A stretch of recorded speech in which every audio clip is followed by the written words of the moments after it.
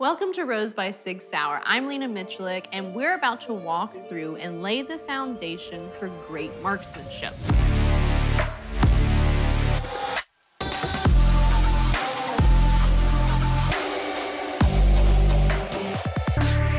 So we're gonna learn how to handle our gun, how to get a good stance, grip, sight alignment. We're gonna cover that all right here.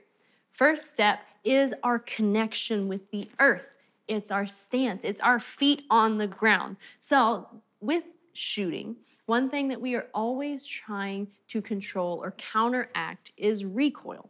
So, first off, let's understand what recoil is. Every time we pull the trigger on a loaded gun, recoil is just going to be a motion directly back and up. So, whenever we talk about recoil management, recoil control, all we mean is that we're trying to counteract those two motions, back and up. So we're gonna address each one individually. So that back and recoil is almost all controlled by our stance. So it is super important. So now we're gonna talk about our actual stance. For me, my stance looks roughly toe to heel, shoulder width, or slightly wider apart. As a right-handed shooter, I like to stagger forward with my left foot, and if you're a left-handed shooter, I'd suggest the opposite. So I have this nice stagger in my feet, front to back, so that when the rear push and recoil comes and tries to push me, I've got this leg back to catch me. Now, I want my body weight to also be leaning forward because I want to be able to utilize all of my mass to help control this recoil. Because I can use bone structure and body weight and just use a little bit of muscle, or I can have a bad technique and have to use a whole lot of muscle. So if I were to try and stand up real straight and shoot, I could still do it, but man, is it gonna be difficult and wear me out. And the smaller you are, the more technique we have to have and the more body weight we have to utilize. So the easiest way of doing that, staggering those feet, making sure your shoulders are over your hips. Now my body weight is fully prepared for that rear push and recoil. So once again, that's gonna be roughly heel to toe, shoulder width or slightly wider apart, and then my shoulders forward. Weight in the balls of my feet and a slight bend in my knees. The reason we do the slight bend in our knees is that eventually we want to be able to pivot around, move from target to target, and also be able to take off running. Because if we're just standing there with our legs straight, we just got two sticks in the ground and we've lost a lot of strength and mobility. So, knees bent, weight in the balls of your feet, a nice stagger, shoulders forward. Nice. Now we've got our stance and a bit of our body position, and we're prepared for one part of recoil, the back. Now we're going to address that up. So the best ways to counteract that up and recoil come from our grip and our upper body. So let's start with our grip. For that grip, we're gonna want that good high uh, dominant hand placement. So no gaps between the top of that beaver tail and the web of our hand. We're gonna suit that all the way up. We're gonna make sure that all three fingers are wrapped up nice and tight, and then our support hand. We wanna be able to utilize our bone structure here. So by taking my support hand and rotating my thumb towards my target and locking this joint, it is now the strongest it could ever be. So if I were to try and do any other placement, now I have to hold that with muscle. And muscle always gets tired and wears out. So why wouldn't I just go ahead and use my bone structure? So I'm gonna rotate that wrist, get that thumb pointed directly towards my target, and then make sure that it is all the way up on my frame. If we are also not rotating our wrist all the way, we have a tendency to be grabbing a lot lower on the gun, and they're gonna see a lot more of that muzzle flip. So Good high grip with your strong hand, high thumb with that hand, rotating our thumb forward with our support hand, thumb over thumb. Very nice. Now we've got our grip And the last little component is our arms. So let's do this together. I want you to take your hands, put them out straight, elbows straight, arms straight, palms together, and we're gonna push our palms together as hard as we can. Push together, and as we're doing this, start to bring your palms back to your chest, pushing, pushing, pushing all the way back. Then we're gonna get here and we're gonna stop. We're gonna look at our elbows, and now relax. Okay, what did we just walk away with? Well, how much strength did you actually have when your elbows were locked? We have almost no strength or dexterity when they're out here this far away. So when we put a gun in our hands and if our elbows are locked, what is that telling us? We're not going to be able to hold on very well and we're not able to use any of the muscles in our upper body. So when we were here, we actually had the most strength. Now, sadly, I can't shoot my gun right here, but man, if I could, it would be some good recoil management. But I can settle on a happy medium. So for me, making sure my arms aren't locked, but slightly bent and out to the sides allows me to be able to try and push my palms together instead of just relying on my mighty forearms for just grip strength. So now I can utilize my chest, my biceps, my back, and my forearms to help support my grip on my pistol. So once again, that looks like instead of all the way out, we're gonna make sure our elbows are bent and slightly turned out to the sides. One more note on arms, a very important thing is if we shoot with our elbows underneath, what we have created is a giant lever that that up in recoil is going to try and use. So it's going to make our job really hard because we're going to have to try and hold that gun down with muscles yet again. Whereas if I just rotate my elbow, now the mechanics of my arm and this joint are helping me. My arm can no longer bend up and I'm able to push my palms together again better because I have opposing forces. So many good benefits from bent arms and elbows slightly out to the side. So we're gonna tie all of that together. We have a good staggered stance, feet shoulder width or wider apart. Shoulders are forward to make sure that weight is prepared for the back and recoil. Now I'm gonna get that good grip. All the way up with my dominant hand, thumb high, support hand with my thumb pointed towards my target so that I utilize the strength of that joint and get it all the way up high, thumb over thumb. Now I'm gonna come to this low ready position right here, and then I'm gonna push out, and I'm just gonna bring the gun up to my face, and I'm gonna make sure that my elbows are slightly bent and on either side. And then I can focus on pushing my palms together and squeezing my hands. And there we go. Now we are the most prepared for the back and the up and recoil that I think we could really be. So now let's figure out how to aim our gun and what a good sight picture looks like. The very next thing we need to identify is which is our dominant eye, because just like hands, one of our eye is the dominant one. So an easy uh, test to do is to make a little tiny diamond with our hand. And now I'm gonna look directly at the camera and you're gonna easily be able to tell, but then I'm gonna continue on. So I'm gonna make this tiny diamond and my only goal is to look directly at the lens of this camera through my little diamond. So I'm gonna look at you guys and now I'm gonna bring my hands back to my face. And when I do that, I automatically go back to my right eye because that's the one I was lining things up with.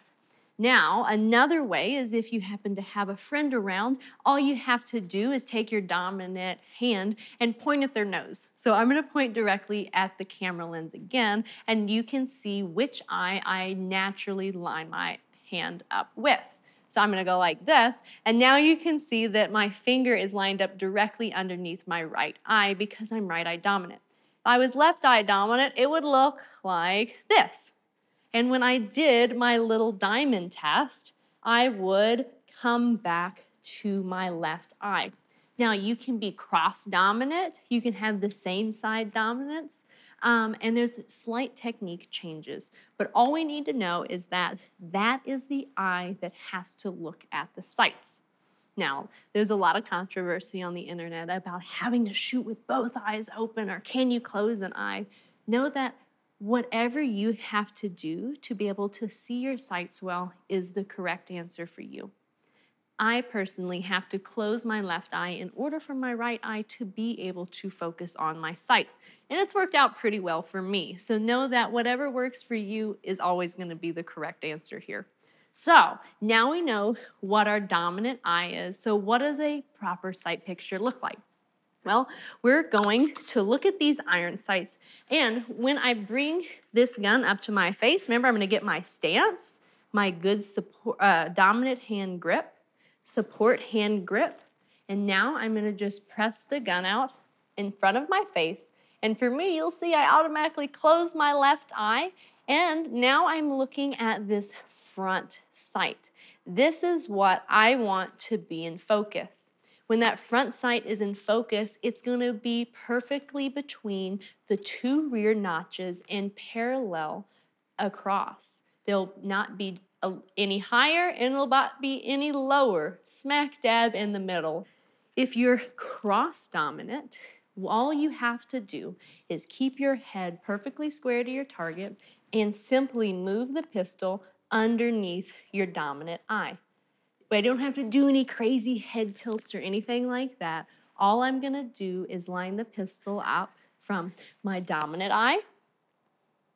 For me, this was a right-handed shooter lining it up with my right eye versus a right-handed shooter lining it up with my left eye. My head position never has to change. All I have to do is present the gun to the right eye. So now that we know what we're looking for, we're gonna string all of these things together just a little bit. So we're gonna get our good stance, we're gonna have our weight forward, we're gonna get that good grip with our dominant hand, which is all the way up on the gun, finger straight, support hand, thumb towards target. And now we're gonna come to what is called our low ready position. We're gonna get real familiar with this because this will be what we go to in all of our future training videos. So we come to a low ready. One important note here is that we don't want our muzzle pointed down or pointed way up. We still want it to be lined up as much as we can with our target. Now from here, all we're gonna practice is pressing out, making sure our elbows are good and finding our sights. Very nice. Once we find our sights and line them up, we're just gonna come back to our resting position. Now we're gonna do that four more times, making sure our weight is forward, grip is good. Now I'm gonna look at my target, press my gun out to my target, make sure my elbows are bent, find my sights, and return back down.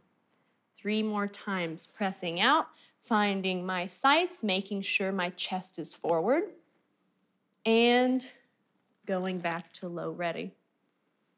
Once more, pressing out, finding my sights, making sure my weight is forward, good solid grip. Very nice. So now we've got our stance, our grip, our sight alignment. The only thing left is trigger pull. Now, uh, a very common thing is that people suggest that you place the trigger uh, within this first joint of your finger. But something that I find to be even more conscious of with so many different hand size variations that can look really different. So one thing that I always like to keep in mind is just that my finger here is not in contact with the frame of the gun. If it is, no matter what I try and do, I will be pushing the gun to the side when I pull the trigger.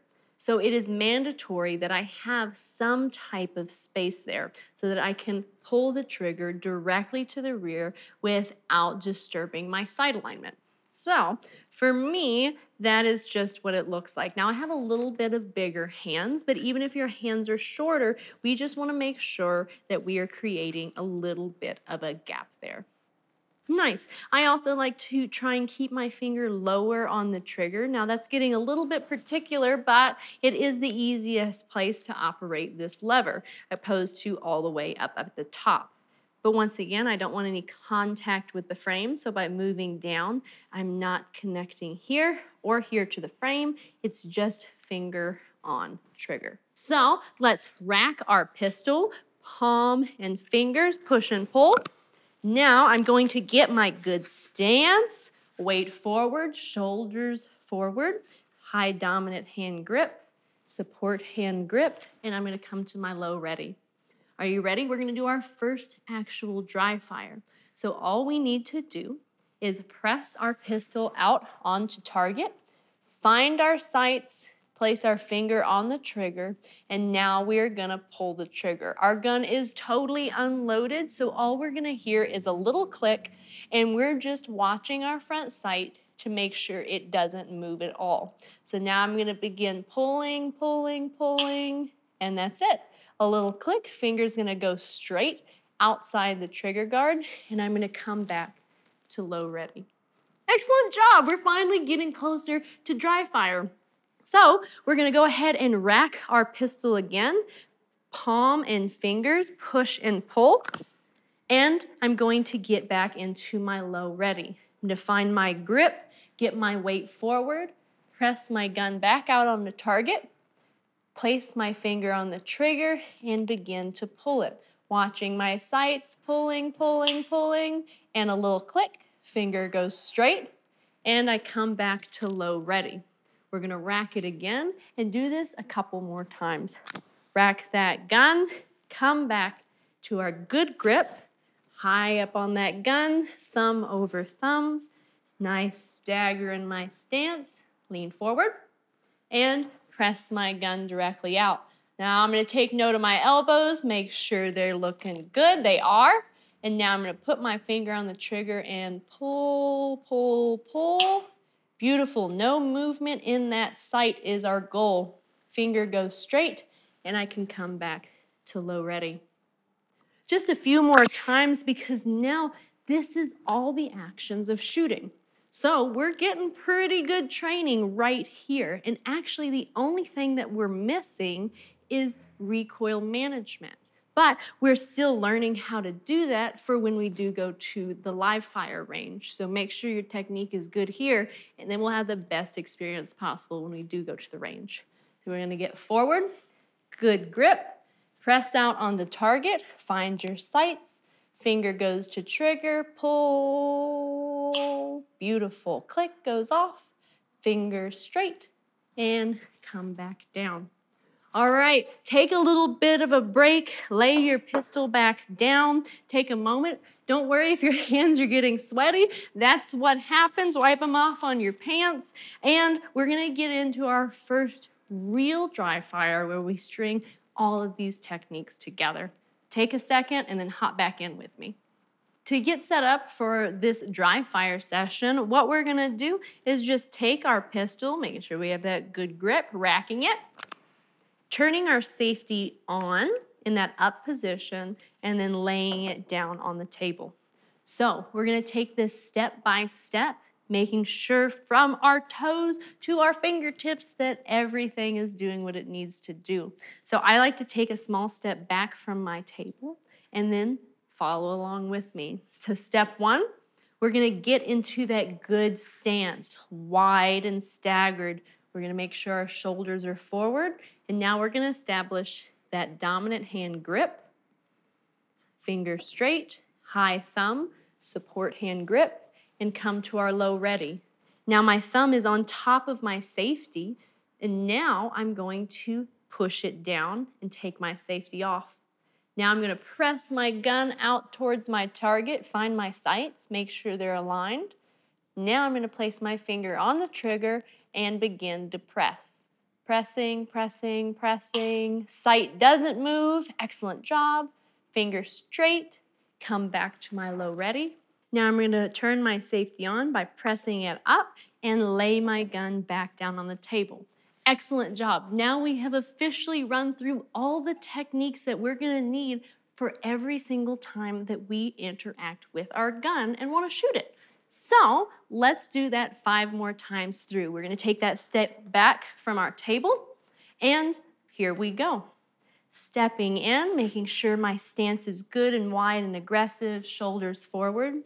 Getting a good high grip, finger is straight, high thumb, support hand comes in all the way up high, and we come to my low ready. Safety is gonna be pushed down with my thumb. And now I'm going to press my arms out towards the target, making sure there's a slight bend in my elbows. My sights are all lined up and on my target, so I'm gonna place my finger on the trigger and pull. No movement in that front sight. Finger is straight. Now I'm gonna come back to my low ready.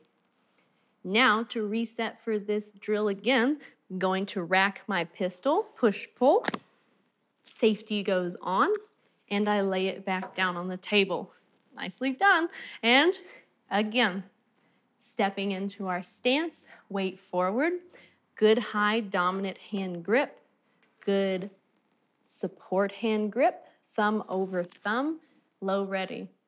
I'm gonna press my safety down, press my gun out onto target, find my sights. Elbows are slightly bent and I'm squeezing with my hands. Now finger goes to trigger and I pull, pull, pull. Hear that click, finger goes straight and I return to low ready. Now I'm gonna rack my pistol to reset. Rack, safety on, and lay it down. Very nice, take my step back, shake that out. If your hands are starting to get tired, a great stretch to do is just pulling your fingers back. If you need to pause this video, don't worry, this should be exhausting. This is like working out, but in the gun world. So now we're ready to go again. We're gonna step in nice and aggressive, weight forward. Dominant hand is all the way up high, fingers straight. Thumb is high so that my support hand can get all the way up there, good and solid. Now I'm gonna come to my low ready. Safety goes off by pushing it down with my thumb, and then I press out onto target. Find my sights, finger goes to trigger, and I start my smooth, steady press. Beautiful, finger goes straight, and I come back to my resting position. I'm gonna rack the gun, safety goes on, and I lay it down and reset for two more reps. So here we go. Stepping in, weights forward, good dominant hand grip, fingers straight, support hand up high, low ready. Safety is turned off, gun presses out onto target, find my sights, fingers on trigger, pull, pull, pull, finger goes straight, come back to low ready. I'm gonna rack it and reset for my last rep. Very nice, here we go. Last one, let's make sure everything is perfect. Stepping in, nice stagger, shoulders are forward, weights forward. Good high grip all the way up on the beaver tail, fingers straight. Support hand thumb is rotated towards target, up high, and now I'm in my low ready. Safety goes off, press my arms out, slight bend in the elbows, sights are perfectly centered, finger goes to trigger, and I start pressing, pressing, pressing. Finger straight, return to low ready, and just lay your gun down. Excellent job. Mm. I love that we just made it through all that. That is all of these steps to true marksmanship. Now, if you have any questions, please repeat this video over and over and over again. That last little bit there, running and stringing all of our, these techniques together, is what dry fire is all about. That's what these videos are all about, getting comfortable and confident with the tools you'll need to be a great marksman. So Please repeat this if you need to. And if not, don't worry, I got more information and more training for you in the next video. So let's hop into that.